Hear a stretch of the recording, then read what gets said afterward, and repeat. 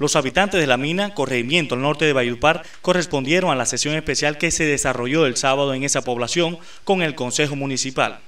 Bueno, un balance positivo dado los compromisos asumidos por la administración municipal y por parte de otras instancias.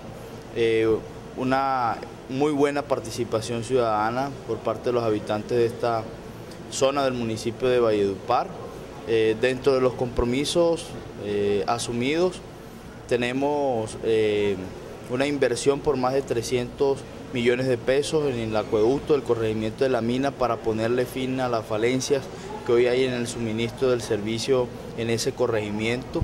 El alcalde Freddy Socarrás se comprometió que en un mes se firmarán el convenio con la empresa Endupar para iniciar obras. Eh, el alcalde se ha comprometido a que en un mes se firme el convenio con la empresa Endupar para iniciar las obras y que en esta vigencia se pueda ejecutar ese recurso. En esta sesión se pudo establecer compromisos en diferentes temas. Eh, lograron establecer compromisos en materia de mejoramiento de la infraestructura educativa, de salud, de seguridad. Creo que en términos generales hay un balance muy positivo. Para darle un calificativo final hay que esperar que se cumplan estos compromisos.